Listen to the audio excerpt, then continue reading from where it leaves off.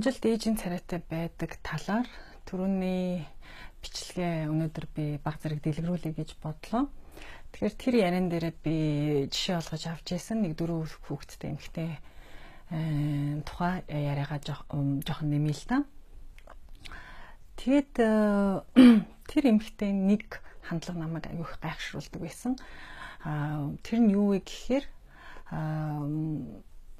одоо жишээлбэл хүмүүс ингээд сүмд очиод нүглэн амжилтдаг. Яг тэр эмэгтэй бол Монгол үндэстэн биш, Монголд амьдэрдэггүй.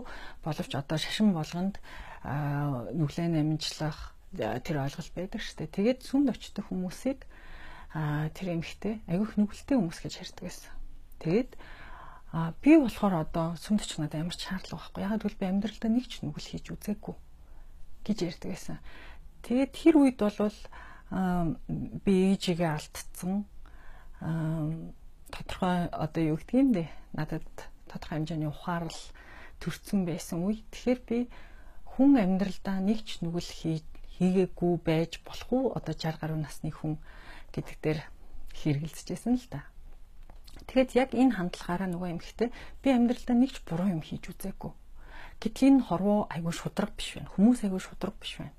Миний нөхөр айгүй шудраг биш. Миний хүүхдүүд айгүй шудраг биш байна эдгээр надад айгүй буруу хандж байна. Яагаад гэвэл би бүгдийг зөв хийсэн гэдэг хандлагатай. Тэгэхээр ийм хандлагатай хүн мэдээж үргэлж бусдад гомдно. Урам хугарна. Аа тийм болохоор үргэлж тайван биш тэднийг дандаа шүүмжилдэг. Тэгээд сэтгэл дундуур тэгэхээр л нөгөө ам нэхэр нөгөө өнөр нь гардаг байсан гэж би бодож байна. Гэхдээ би юу ч хэлдэггүй байсан. Тэр эмэгтэй надаас зөвлөгөө авъя гээгүй. Тэгээд ч надаас ихчмэд а чи юу гэж бодож гин гэж надаас асуугаагүй. Тэгэхээр би өөрийнхөө бодлыг хадгалаад дугаа ингэж байж байдаг байсан. А 5 жилийн өмнө тэр эмэгтэй нөхрөө алдсан.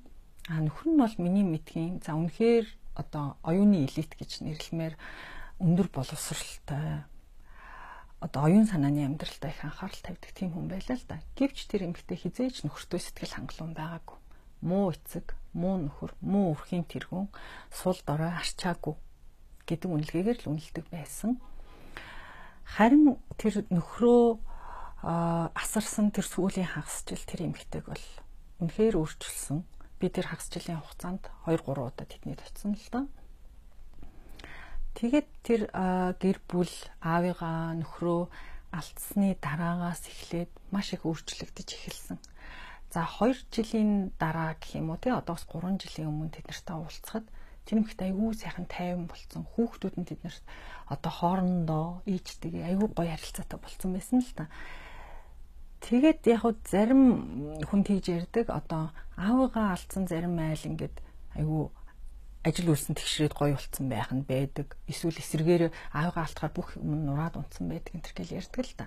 Тэгэхээр тэднийд аавтай холбоотой тийм нэг үйл явдал болсон. Одоо тэр эмэгтэй нөхөртөө хандах хандлага шал өөр болсон. Тэр эмэгтэй анх удаа нөхрийгөө одоо хүлээн зөвшөөрсөн. Нөхрийнхөө ямар үн цэнтэй байсныг тэр нөхрийн амьдралын утга учирыг хүлээн зөвшөөрсөн.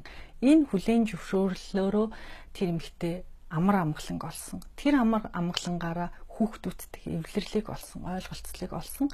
Хүүхдүүд нь бүгдээрээ өөрийнхөө хүссэн амжилтанд тодорхой хэмжээгээр ойртсон За одоо миний мэдэрснээр бол одоо тэр сүүлийн 3 жил би бас л жилд ядахтаа нэг удаа уулзчил байгаа.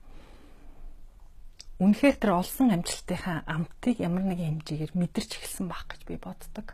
Одоо урд нь бол эдийн засгийн амжилттай байгаа мөртлөө нэг гундуухан ч юм уу а тэр хийж байгаа ажил эрдмийн ажлынхаа амжилтыг ч гэсэн үгүйсгсэн голсон чамлсан ч юм уу үнэхээр сайхан гэр бүлтэй хүүхдүүдтэй байгаа энэ одоо байгаа бүхнээ ямар нэгэн байдлаар тийм жижигрүүлсэн тэр хандлага нь байхгүй болсон юм уу багассан юм уу гэдгийг бол би мэдэрчээсэн л та. Тэгээд тэр эмэгтэй миний зорилгыг мэднэ. Аа би аа одоо энэ сэтгэл судлалыг сонирхож байгаа ийм ажил хийж байгаа гэдгийг мэднэ. Тэгээд өөрийнхөө жишээг намайг энэ бичлэгтээ өөрийнхөө одоо лекцүүдэд хэрэглэхийг зөвшөөрдөг. А би бол лекцэндээ энэ ихтэн жишээг авч байгаагүй. Одоо анх удаа энэ бичлэгт авч байна л да. Тийм ээ амгалан би үнэхээр өөрчлөгдсөн. Хэрвээ чамд хэрэгтэй бол энэ жишээг чи хэрэглэж болно гэж ингэж надад хэлсэн учраас би энэ жишээг авч байгаа юм шүү.